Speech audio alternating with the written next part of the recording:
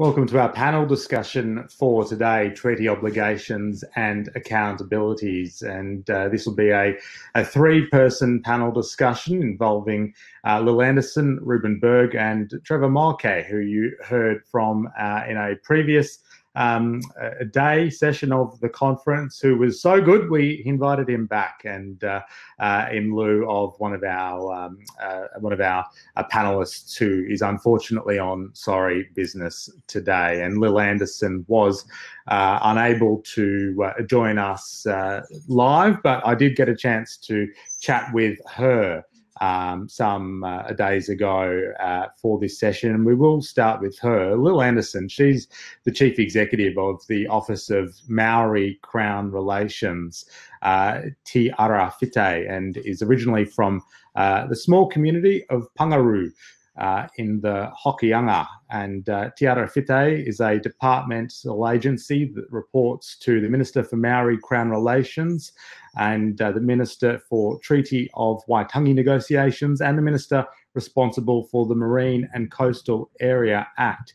And uh, Te Arawhiti was created to consolidate a range of distinct but related government functions that support the journey of Maori Crown partnerships and help the Crown build on the sense of renewal in Maori Crown relations established through the treaty settlement process. Lil has more than 25 years' experience in the public service across a whole range of roles and recently was redeployed for six months to the New Zealand COVID 19 All of Government Operational Command Centre.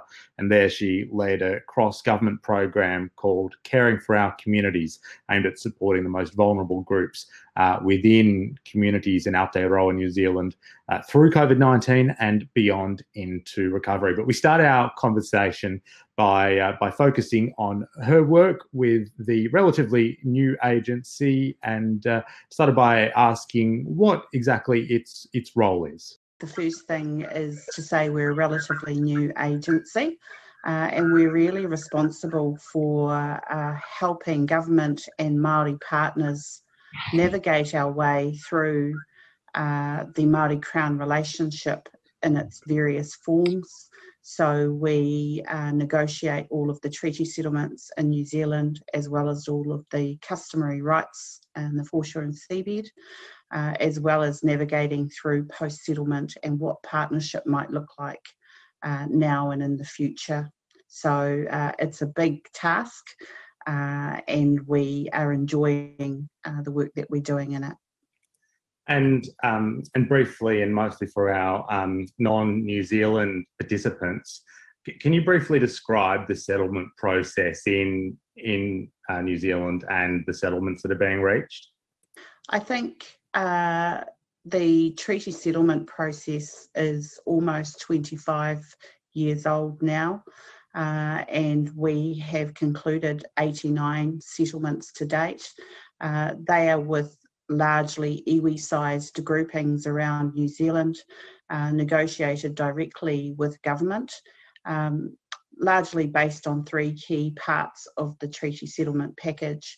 Uh, being the cultural redress, the return of lands, uh, commercial redress, uh, an agreed financial redress amount, and commercial rights uh, and a historical account, which is an agreed version of the history between that iwi and the Crown, as well as an apology. So uh, we only have three more treaty settlement mandates uh, that are yet to take place.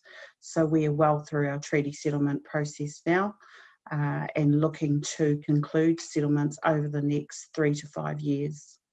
So there's three outstanding. Um, how how long are they taking, and what's the difference between those that have taken longer, perhaps some of or all of these three, and and other settlements? Each each settlement is very different from another, and so um, while there are common features in terms of the you know the types of packages uh, each settlement has required something quite unique. Um, so we have seen treaty settlements take as short a time as 13 months uh, from start to finish, and that is from a mandating process for that group through to legislation being passed and assets being returned. Uh, to another process which has taken almost 16 years so far uh, and is still going. And a lot of that is based on the complexity um, of the settlement. And really, because it relies on two partners agreeing, uh, we cannot do it by ourselves. And so uh, often, you know, we disagree on things. Uh, and we take a bit of a break from negotiations and hopefully recommence um, at a at a future date. And when all of the um, the settlements are, are finalised, and, and, that doesn't sound like, in relative terms, too far away, what's then the next phase of the relationship between the, the Crown and, and iwi? And then what does that look like for the work that your agency does? That's a great question. I think um, the way we express it is the Māori Crown relationship in New Zealand is a journey, and uh, what we've been doing for the last, you know, 25 to 50 years has been the reset of the relationship, a broken relationship. Uh, our ability, I think, as the Crown to say sorry, uh, our ability to know what we're saying sorry for, has been a really part of really important part of rebuilding the relationship um, we're now at a stage where we can look to present and look to future. I think Professor McDonaldson called the process we've just been through something like truth telling. Uh, it's an important phase of getting to partnership. So we're now at a point where we need to sustain the relationship. And part of that is about keeping our promises and making sure what we do what we said we would do. Uh, and we then look towards partnerships that are based on mutual trust, which we haven't had for a very long time, uh, mutual respect, uh, and I think, you know, mutual cooperation. Um, and those partnerships are really the ones that uh, take us into the future. Um, some of the partnerships we've had are more deficit based. Uh, about the fact that Māori are so high in statistics in our country and what partnerships allow us to do is take a look at that together rather than one party trying to fix the other. So I think it offers real hope for where the relationship might go uh, and signals, I think, that the treaty relationship that was envisaged in 1840 might be possible again. You mentioned uh, earlier that um, part of the settlements is um, an apology, an agreed version of the history, uh, financial um, and, and, commercial uh, rights and, and, compensation, as well as um, cultural redress in terms of giving back land to um, Maori groups. From your um, dealings with various groups, what what's the most important of all of those elements in resetting the relationship and coming closer to a genuine partnership? I think each group places an, uh, an emphasis on different parts of the package, but I I think the most common feature, then is the fact that the Crown is acknowledging uh, that it broke trust. Uh, we make very specific acknowledgements about specific events uh, about certain events which led to the loss of life uh, for Māori, and we acknowledge and say sorry for those things. Um, I think without that, uh, treaty settlement process and even partnership really isn't possible. Um, so I think that would be the common feature. And yes, each of them features a different variety of commercial redress, be it 170 million, which has been our largest settlement to date, um, or you know the return of highly cultural lands where villages were once based and those are important but i think without the acknowledgement of our past uh, and an apology for those things that the crown did to dishonour that trust uh, i don't think treaty settlements would be where they are today so in the in the Australian context, truth telling, as it's described over here, is a relatively um, new concept. But how important is that truth telling um, as part of treaty making? Would you say, and that ongoing partnership? Uh, I think it's fundamental, Dan. I don't think you get to true partnership uh, without it. And largely that's because, you know, you imagine, you know, if you are in a disagreement with someone, a very difficult one, and uh, you try to just ignore the fact that that happened and move to, right, let's work together on this really great thing. Um, I just think it's uh, it's not in human nature to move to trust so quickly after a series of acts that have removed every trace of that trust. So um, I'm really strongly of the view that a process of truth telling uh, or treaty settlements or history telling, as we say in New Zealand, uh, is a really core component of good partnership. Otherwise, I think you're in a position as partners where you continually doubt each other's motives, where you're trying to grieve uh, for what was done and what was lost at the same time as people are asking you to move on. Um, and I think it just makes for a really difficult partnership. It feels uneven and unequal. Um, so we've found that without it, uh, partnerships don't really work here. And in terms of the financial compensation that you uh, you've mentioned, what are some of the initiatives or programs or, or ways in which that money has been redirected redirected by different groups? Uh, we've seen really phenomenal growth in terms of uh, the value of the what is called in New Zealand the Māori economy. Uh, while not all of that is from treaty settlements, you know the growth of some iwi's bottom lines and baselines has been phenomenal. And each iwi takes a different approach. Most look at investments over a longer period of time, the ability to provide uh, grants, to provide uh, the ability for scholarships for our young people uh, to attend university, come out of university with uh, degrees and the ability to move into work immediately uh, for their iwi uh, is, a, is an opportunity we haven't had for a very long time. Uh, I myself, you know, came out of home and left left where I was from immediately to work in Wellington. Um, that's not really a future we want for Māori we want our people to be able to work at home uh, for the good of their iwi. And so I think seeing that uh, generational wealth uh, is, has been a really important feature of treaty settlements to date. Some buy assets, uh, some invest in different businesses. Um, a number of iwi are co-investing together. Um, you know, they look at some of our bigger companies around New Zealand and uh, think about uh, joint ventures. Uh, and so the, the fact that they can now do that uh, was unheard of 40 years ago.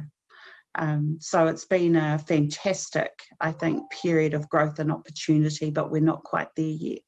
I know this is um, possibly difficult to, to, to, answer given that treaty has been just so much a part of the New Zealand um, experience for you know, coming up to two centuries now. But do you think, in terms of partnerships between the Crown and, and government and First Peoples, that building those partners in within the prism of a treaty uh, is is helpful or or constraining?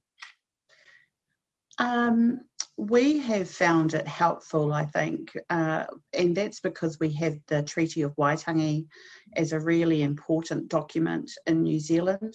Um, that very document provides for the type of partnerships I think we all aim for. Uh, it has three articles, and you know the first is about uh, lawmaking and the ability of the government to make those laws. The second is about Māori exercising rangatiratanga or um, decision making over their own affairs and authority.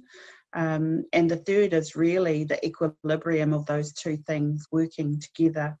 Uh, so I, I, feel like um, the treaty has played a really big part in why we've landed there.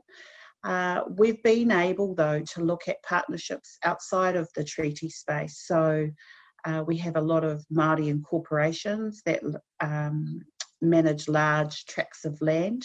So we're able to form partnerships with them outside of a treaty context. So it's not impossible uh, to do that outside of a treaty, uh, but it is a really important part of New, in New Zealand of the journey we've all been on. Thank you, Lil Anderson, for joining us for uh, that conversation a couple of days ago before um, because she couldn't make it to today's panel. But I want to bring in our, our panelists now, Trevor Moeke from the New Zealand Treasury Department, as well as Rueben Berg from the First Peoples Assembly of Victoria. He's a, a member of, of that group. Trevor, um, to you, to you first. What struck you out of uh, that uh, that conversation between Lil uh, and myself when it comes to the subject of, of this panel, treaty obligations and accountabilities?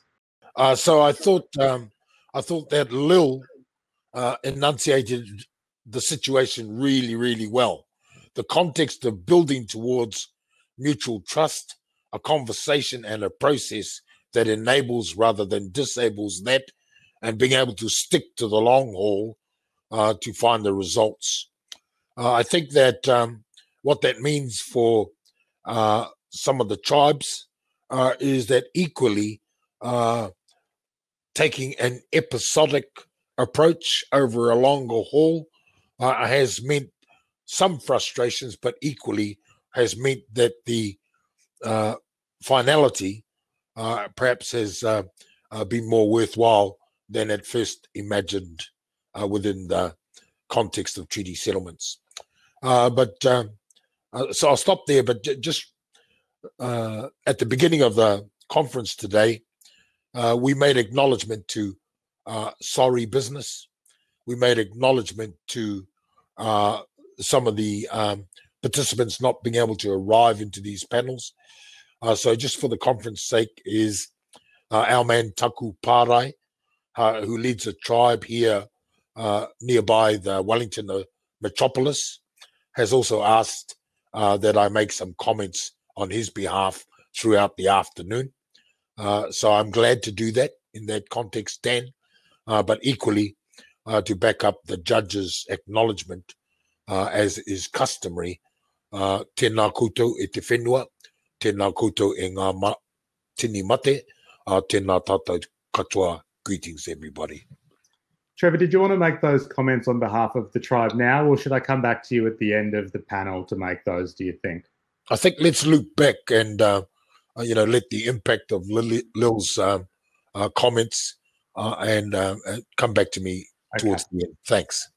Thank you. Let's bring in Rueben now. Rueben's a proud Gunditjmara man from Melbourne, Victoria, and is a member of the First Peoples Assembly of Victoria. Of Victoria, the Assembly, of course, being the voice for Aboriginal communities in the Victorian treaty process and, and Victoria at the forefront uh, in terms of Australian jurisdictions, in terms of progressing treaty discussions, as well as being a member of the First Peoples Assembly of uh, Victoria. Rueben's also a commissioner with the Victorian Environmental Water Holder, a member of the Heritage Council of Victoria, and a director of Western Port Water. Welcome, Rueben. Before we get into your work, with uh, in the Victorian context. Uh, what I've found fascinating over the conference so far is just hearing the approaches and vastly different state of affairs in New Zealand in terms of the Crown and its relationship with First Peoples. What struck you out of uh, my chat with Lil? Yeah, I mean, I think it is really interesting um, to be able to have those comparisons between what's happening in Australia and New Zealand, and also for us as the Assembly, what's happening in other parts of the world as well, because there's similar treaty conversations happening around the world. And what always strikes me when I listen to those sorts of conversations and, and comparisons is that there are many, many things that are very similar, and there are many, many things that are different. Um, and so it's been it's really interesting as part of this treaty process in Victoria to see what we can draw from what's happened in other places and what we need to come up with ourselves um, here. But you know, the need to have an understanding of where does self determination sit for Aboriginal people within their own business, their own lands, their own waters, but also where does the Aboriginal voice sit within the broader context of society? How can we have a voice in those things where we don't necessarily have authority over? Um, I think that was interesting spelled out and, and separated within what Lil was talking about too. Um, in the in your sort of thinking and the group's thinking in this space have you looked to New Zealand um, to to see how a treaty negotiation and a treaty negotiation process, given it is such a process we're talking about here, um, how yeah how that should unfold in Victoria? Yes, we, have had um, we've had members of our uh, assembly travel around to different places, including to New Zealand, to talk to people and hear what their experiences were. And we've, with the wonderful technology we can use these days, we've had conversations uh, globally with people from around the world as well. Um, and I think we haven't quite yet got enough down into the, the nitty gritty detail. Like I think it's one thing to kind of have a surface understanding, but I think the next phase in our process, we really need to delve down into what was the actual detail, what was the the actual fine wording that made a difference in in some of these places, and how can we be mindful of those same things, and both learning the positives that things that worked, and, and maybe what could have been improved, so that we can, you know, have the best foundation here in Victoria.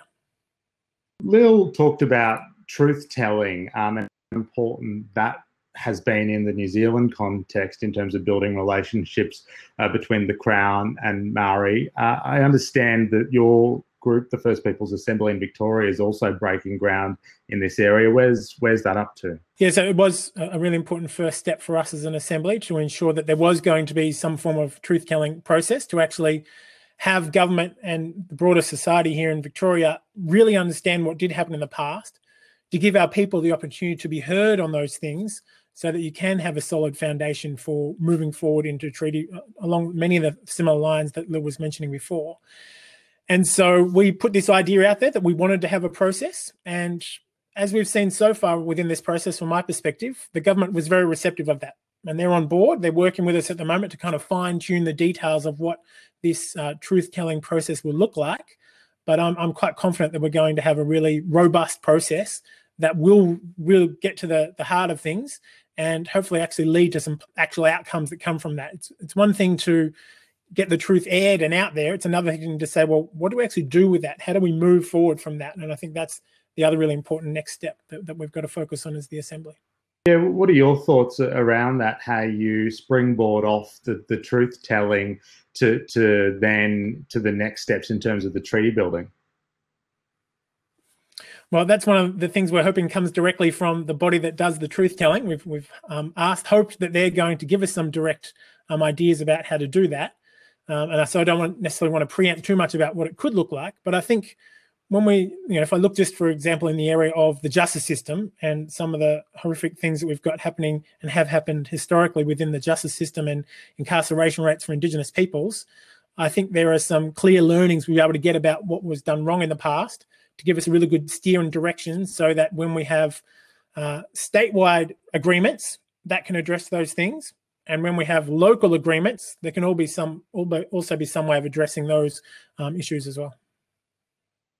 Back to you. Just still on this point around around truth telling just given how um, important lil certainly thinks it's been in this in this process. I suppose uh, yeah can you tell us in the new zealand context what sort of um, what laid the, the groundwork to allow a process of truth telling to take place because uh, in the Australian context, certainly, there's often an avoidance or a shying away from harsh truths about our history or a, a tendency to characterize um, a, a, more accurate telling of, of, of Australia's history as history wars. Did you have that in New Zealand? And if so, how did you overcome it to allow truth telling to take place?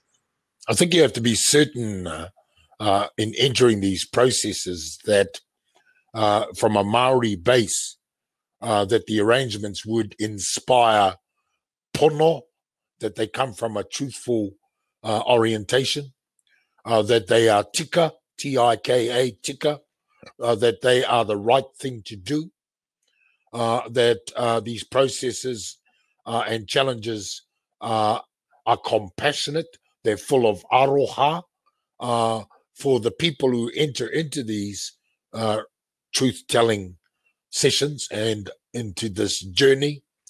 Uh, and they are compassionate also for the people on whose behalf you're trying to resolve these things. So these are never easy conversations. And I think Lil's uh, video at the beginning of this panel session covered some of that. It's like a partnership where you actually have to work out, uh, you know, whether you really want to uh, work with one another or or pause for now until uh, time has gone on and different people or different arrangements can be worked through.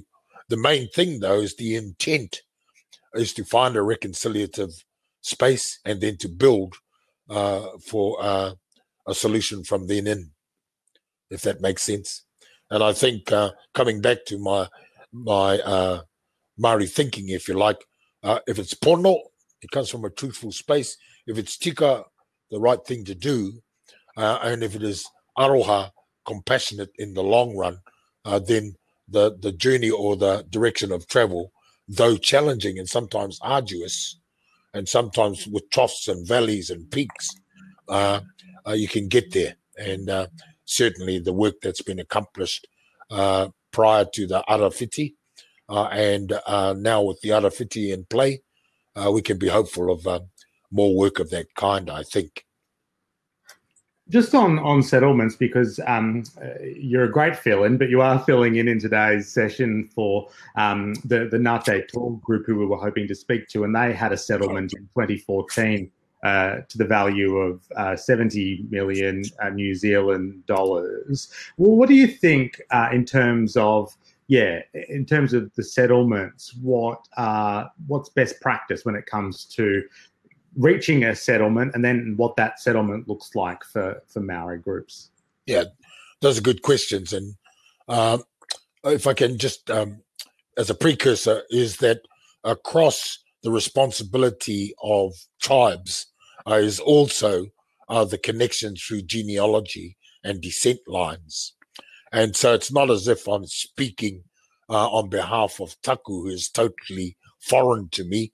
Uh, if you look at the descent lines, uh, there are tribal connections uh, together. So it's in that space uh, that I make some of these comments.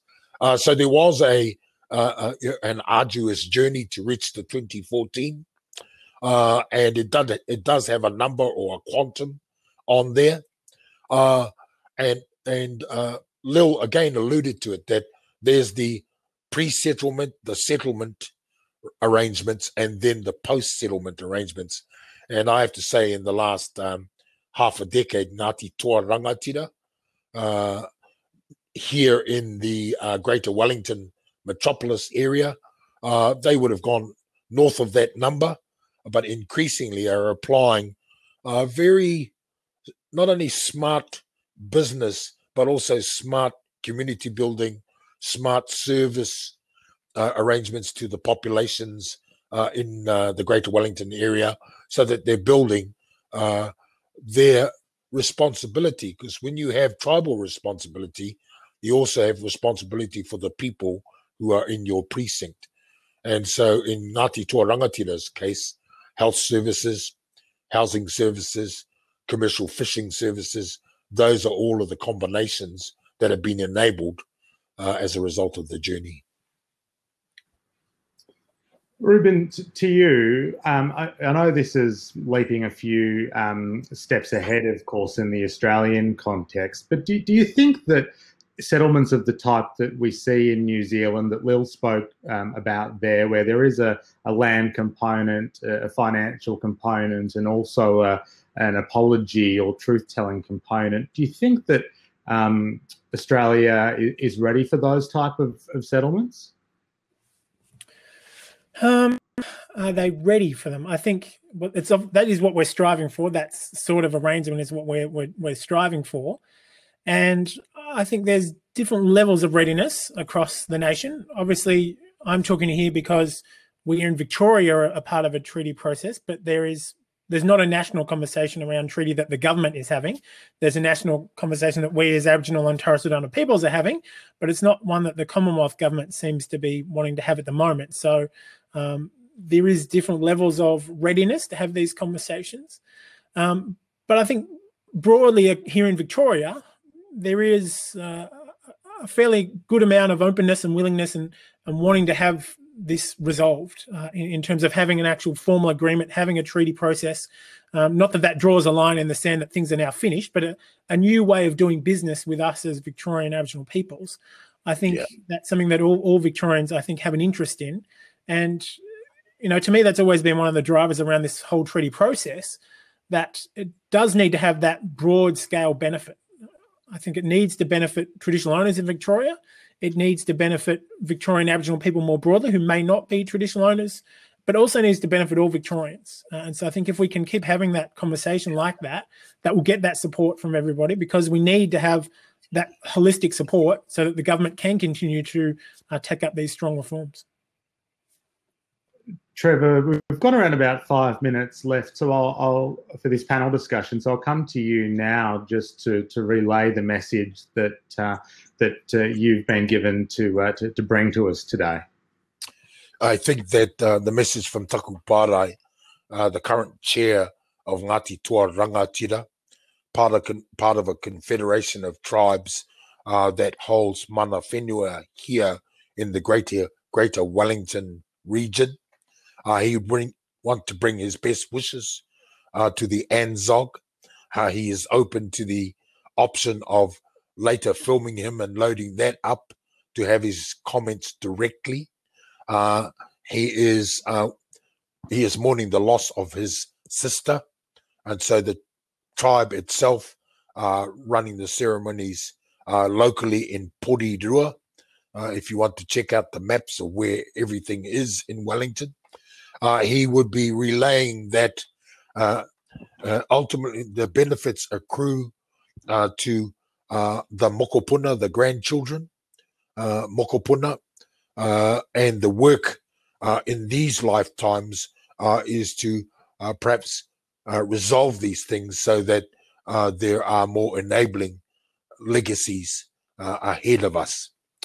The last thing that um, Taku conveyed with me earlier today is our best wishes uh, to those across the Tasman uh, in your efforts uh, in reconciliation of the conversations you're having. And one of the things I would add to his best wishes, Rueben, to you and the uh, um, the First Nations Aboriginal people in Australia, is that sometimes, even without a treaty, uh, our common interests uh, and our nation's actual needs uh, could be the drivers for uh, respectful conversations uh, that we're finding our way into here as well. So, with that in mind, Dan, those are those are some of the things uh, we've been mindful that uh, in the reconciliation process, in this post-settlement matters, that we're doing good things uh, and we want to do more things to serve the community who are within our tribal area. And so that's not just the tribal members, uh, that's the entire community uh, here in the Greater Wellington area. I'll stop there, Dan. That's pretty much uh, all I'm licensed to say today. oh, one last thing, Dan. People may or may not know that when the All Blacks rugby team takes the field, they begin with a uh, acknowledgement of the culture of this land with a thing called the haka. Uh, and that haka, uh, the one which starts kamate, kamate, ka ora, kaura. Uh, it frightens many people, but I know you Aussies are not frightened by it. Uh, but that haka originally uh, came from Ngati Toa Rangatira, uh, from the ancestral lines to that tribe. And I'd want to pass that good wish on. Is their life? Is their life? Is their death? Is their death? Uh, persist. And uh, it's amazing what we can get done. Trevor, thank you. And Rueben, thank you. Been great to hear from from both of you and, and Rueben on the progress that's been made in, in Victoria. So all the best with that work.